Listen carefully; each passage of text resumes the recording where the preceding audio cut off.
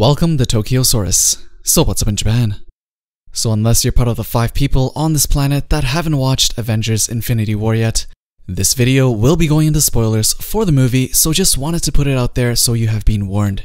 Anyways, so Infinity War is on its way to earning $1 billion worldwide in less than 10 days of opening, and so it's obviously also on its way to breaking all sorts of records, including beating out the recent Star Wars film The Last Jedi, and also Black Panther.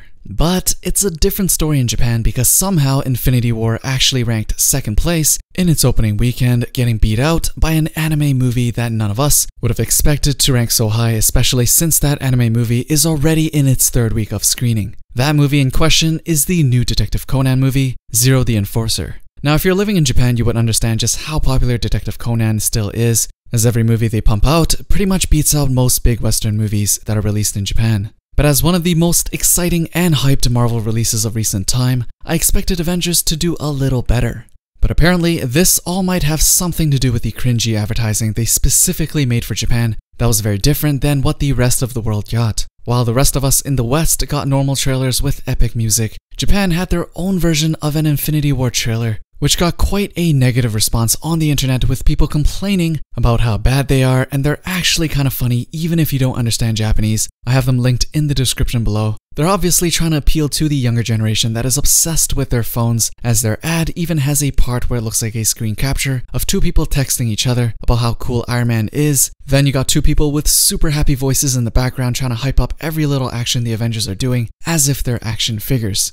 It's pretty comical, and they have a separate one of these commercials for each of the Avenger, so they were pretty sure these were gonna work. The dislike ratio on these were through the roof with about 10 dislikes to 1 like, so clearly the Japanese audiences didn't like them very much. But you can't really blame a couple of trailers for a movie's success or failure, because it's not like the movie did bad. In fact, it did pretty well, grossing about 10 million USD in its first 4 days of release in Japan, which I'm pretty sure is definitely better than what the two previous Avenger movies did in Japan, at least in the beginning. So, an anime movie beats out Infinity War in Japan, but what's more funny is that some people are saying Infinity War may have anime inspired moments, which totally isn't true by the way, but still funny. The first obvious one was a possible reference to Naruto when Doctor Strange teamed up with Iron Man and the Guardians of the Galaxy to fight Thanos. Doctor Strange started doing his usual mystical shtick and pulled out Kagebunshin no Jutsu by making clones of himself. He didn't do the hand sign, but it was almost close enough. So is this one true? Did the Avengers just give us a Naruto reference? The answer is unfortunately no.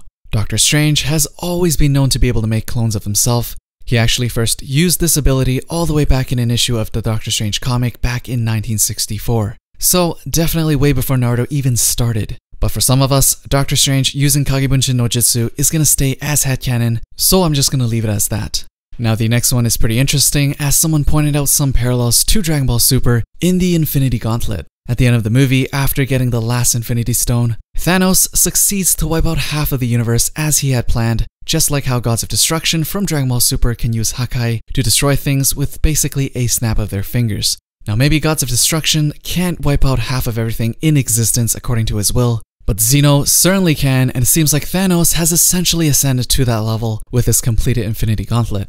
The next one that's even more absurd are some people comparing Thanos to Frieza from Dragon Ball Z. They're both galactic villains trying to kill a lot of people. They're both aliens going to Earth in search of treasure. Thanos is after the Infinity Stones, and Frieza the Dragon Balls. They're both also known for being the strongest in the universe when their respective arcs occurred. Thanos has an elite crew of warriors called the Black Order, while Frieza has the Ginyu Force. And to top it all off, the biggest clue to their connection is that they're obviously from the same race, as they're both purple. Didn't see that one coming, did you? So that is it for Avengers Infinity War in Japan. How did you like Infinity War and did you cry at the end? And if you still haven't watched the movie yet, I don't know why you're still watching this video, but anyways, let me know down in the comments below. Don't forget to thumbs up before you leave, subscribe, and hit that bell for notifications if you want to be updated with the latest going on in Japan. And I'll see you guys in the next one.